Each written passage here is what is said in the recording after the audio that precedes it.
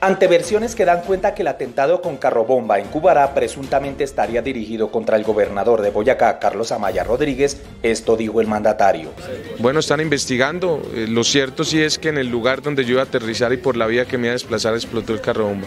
El hecho fue calificado por las autoridades como un acto terrorista por el cual ofrecen una recompensa. Los 50 millones de pesos a quien nos dé recompensa y el próximo viernes Consejo de Seguridad con el comandante de Policía de Arauca, con el comandante del Ejército de Arauca y con el gobernador de Arauca para tomar medidas en conjunto. En horas de la mañana de este lunes, en Tunja, el mandatario firmó un convenio en el que hizo entrega de un parque automotor para mejorar la seguridad. Muy felices de poder entregarle a la Policía Metropolitana de Tunja carros, eh, paneles para infancia y adolescencia, firmar un convenio para el centro, el C4, el centro de control de la Policía Metropolitana de Tunja por valor de 4.500 millones de pesos. El gobernador indicó que seguirá trabajando hasta el último día de su mandato en temas de seguridad.